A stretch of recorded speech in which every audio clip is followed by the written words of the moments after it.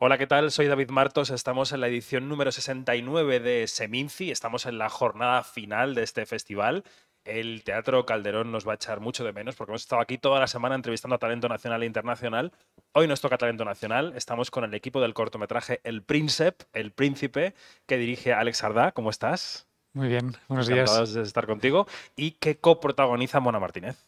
¿Cómo estás? Hola, muy bien, contenta de estar aquí con vosotros. Muchas gracias. Bueno, lo primero que tenemos que hacer es daros la enhorabuena porque acabamos de saber en la rueda de prensa que sois el mejor corto español del festival. Enhorabuena. Muchas gracias. Muchas gracias. Sí, ha sido Sí. una... ¿Qué se siente en este momento? Pues un poco de nervios, pero bien, la verdad, muy contentos. O sea, ha sido muy, bueno, muy guay poder volver a Seminci dos años más tarde y volvernos a llevar algo. Mm. Mona, los premios que tal sientan, Eh, se reciben con, son gustosos, ¿no? De recibir. Siempre, ¿no? Yo siempre digo que los premios son para Súbete un poquito que, el micro si puedes. los premios son para los que te acompañan y quieres y quieren que te vaya bien, ¿no? Que al final siempre son para mm, poder agradecer a todo el que te acompaña en el viaje, todo el trabajo que hacen por ti para que para que pase, o sea que, pero vamos, el premio de él es eh, merecidísimo y yo lo celebro mm, triplemente porque es que es fantástico el trabajo suyo. Luego te preguntaré, aunque está muerto de la vergüenza, luego te preguntaré cómo es Alex como director para que te explayes. Sí. Pero antes, claro, que quiero hablar un poco de tu trayectoria, ¿no? Porque tú no solo eh, hiciste corto, fuiste al largo y has vuelto al corto, sino que encima has hecho de todo en el cine, eh, componer, eh, en fin. Em, ¿Cómo te definirías? Si tuvieras que ponerte una etiqueta, esto que nos encanta a los periodistas de etiquetar, ¿cómo te definirías? Fatal con esto. A ver, ah, no lo sé. o sea, me, ha costado mucho decir que, que soy director de cine. Entonces lo digo como con la poca pequeña. Yo voy haciendo cosas y ya veremos. Bueno, fíjate que nosotros en Quinótico somos súper defensores de los cortometrajes, además estamos muy pendientes de la carrera a los Goya, que por cierto este corto no entraría para este año, No, no entraría para el que este año. viene. Bueno, ya empieza con los galones, o sea que todo bien. Eh, pero claro, viendo el cortometraje que dura casi media hora y sabiendo que has hecho largo, yo pensaba, jo, es que el cuerpo me pide seguir viendo esta historia. A ver Pues qué pasa después. Pues está muy bien. Para eso está bien también acabarlo aquí, para que te quedes con ganas de más. No, la pregunta es si tú, si tú vas a darnos más. Ah, estoy trabajando ya en, en siguiente peli, en largo, pero no, No es con este corto. No es con este corto.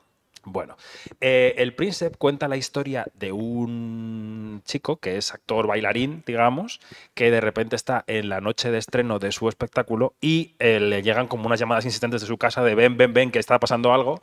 Y lo que está pasando, bueno, yo, me, me frenáis cuando va- vamos al terreno del spoiler, me frenáis. Y lo que está pasando es que han detenido a su padre porque se ha- está metido en un marrón muy gordo, ¿no? Y entonces allí le espera la madre, que es Mona Martínez, y le dice, ella no, y el abogado le dice, tienes que firmar esto para librar un poco a tu padre del marrón, Ajá, ¿no? así es. ¿Y qué pasa?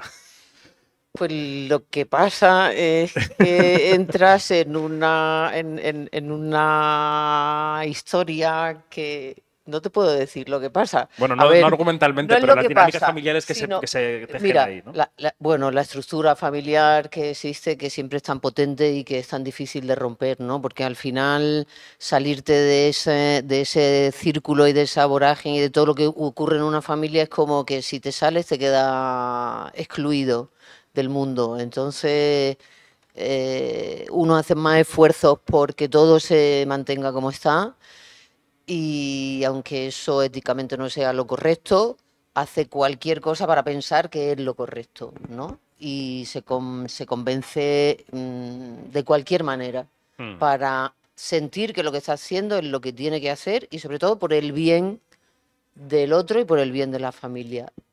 Ahí ya, Ahí lo vamos a dejar. ahí lo vamos a dejar. Bueno, no hemos dicho que tu hijo es Enrique Auqué y que en el corto también están pues Elena Martín Jimeno, eh, Carla Linares, en fin, hay un reparto muy amplio. Eh, ¿Cómo es coreografiar? Porque las escenas eh, de la, familia alrededor de ese documento son casi como coreografías, ¿no? Es, casi como un, sainete oscuro donde todo el mundo va hablando, se va hablando uno encima de otro, se, se cruzan reproches. ¿Esto tiene mucho ensayo? Ah, pues sí, la verdad es que sí. Ah, yo siempre, o sea, me gusta empezar a trabajar con los actores lo antes posible, porque para mí es en los ensayos donde se acaba de cerrar el guion y es, o sea, y es lo bueno también, lo que más me gusta de, de poder hacer esto, que es cuando juntos acabamos de cerrar, encontrarle la forma, ir afinando, ir encontrando cómo, bueno, ir aportando todo lo que sale y ir, ir construyendo y ir, bueno, conseguir que salga todo esto. También era un poco un reto del, del, corto, porque al final esta escena dura ocho minutos de conversación que, que fue, bueno, fue bastante interesante de, de, crear bueno, con, todos ellos. Mm. ¿Y cuál es el germen de la historia? ¿Por qué, el, ¿por qué escribes El Príncipe? es, es, como gracioso estar hablando con esta música de fondo que no sé si se escucha. No, en realidad no se escucha, pero es que estamos, vamos a explicarlo, estamos en la cuarta del Teatro Calderón y están ensayando la gala de clausura, entonces de repente soy una orquesta, pum, un, grupo, pero no, no, aquí no, no, no vale, vale. Es que era como... Aquí.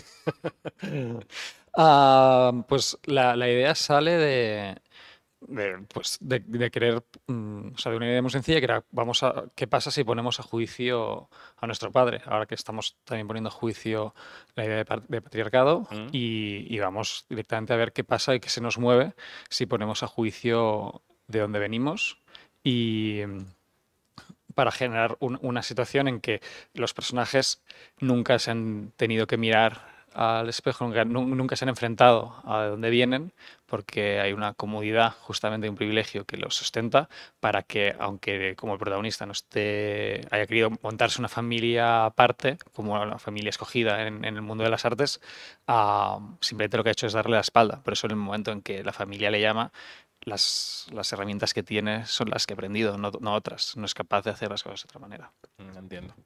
Hablemos de este hombre humilde, Mona. ¿Cómo dirige a Alex Sardá? Lo primero es, a mí me, llamó mucho la atención la capacidad de trabajo que tiene y de forma muy sencilla, eh, despacio, pero eh, muy contundente, con mucha seguridad de lo que hace. Y me gustó mucho ver eh, cómo trabajaba a la par con Enrique cómo los dos iban ah, desmenuzando todo el trabajo, todo el guion.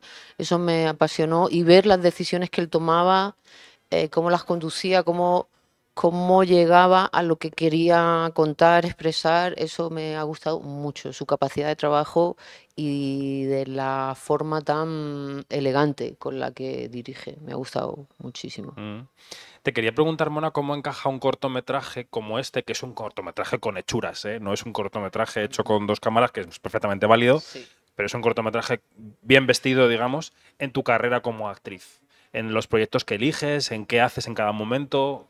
¿Por qué te decides hacer un corto? Pues mira, aquí hemos tenido la fortuna, por lo menos por mi parte, lo digo porque la primera vez que él me llamó para proponerme el cortometraje, yo tenía trabajo y era imposible por fecha Mm. hacerlo. Entonces, a veces cuando me pasa eso, que no puedo hacer algo que me gusta mucho, intento decir, vale, no ha pasado nada, no lo he leído, no quiero saber nada, no sé cómo va a ser, incluso a veces ni lo veo si me da mucho coraje decir que no al proyecto. Sí, es así, lo siento.